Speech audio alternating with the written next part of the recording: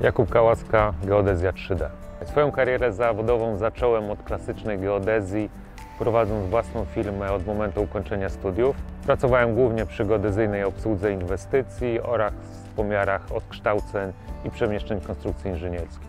W 2015 roku ukończyłem studia podyplomowe na tym kierunku, a jakiś czas później kupiłem swój pierwszy skaner.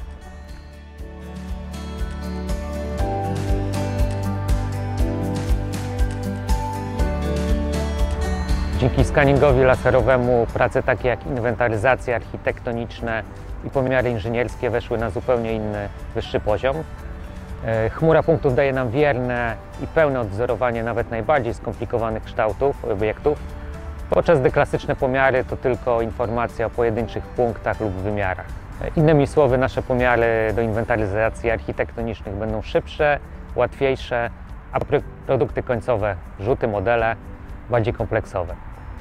Tak samo wykorzystując scanning przy pomiarach deformacji budowli i konstrukcji, uzyskamy o wiele szersze spektrum danych do dalszych analiz.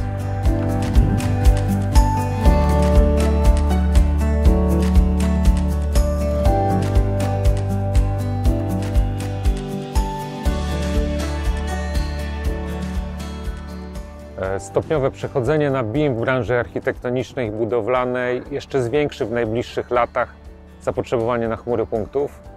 Będzie dotyczyło to zwłaszcza renowacji i adaptacji starych, niekiedy zabytkowych budynków oraz konieczności wykorzystania scanningu na nowych inwestycjach podczas procesów budowlanych.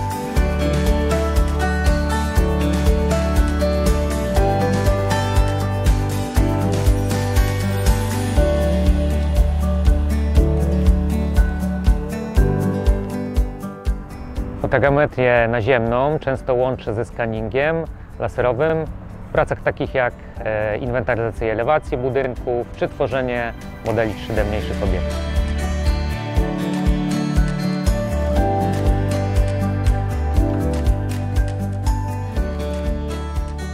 Jestem geodetą i miałem styczność z większością klasycznych geodezyjnych technik pomiarowych, czy to na studiach, czy podczas mojej kariery zawodowej.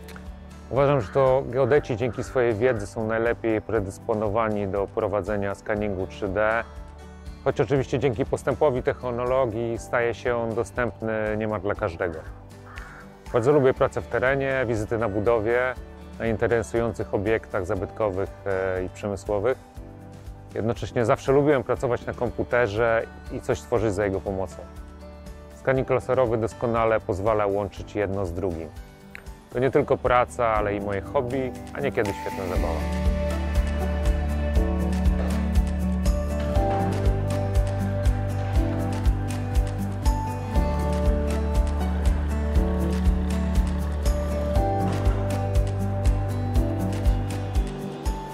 My experience with the Trion S1 scanner has been very positive. It took me a while to learn how to work with the SLAM scanners to achieve the best possible results.